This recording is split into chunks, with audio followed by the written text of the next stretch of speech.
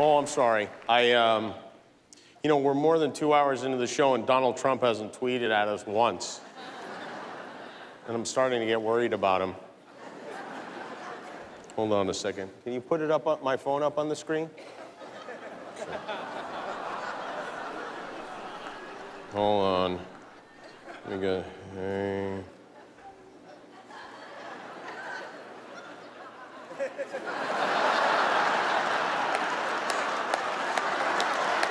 Will, will work?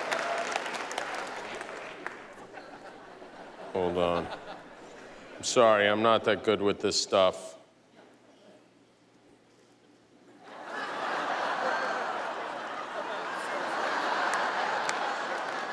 Is that okay to say?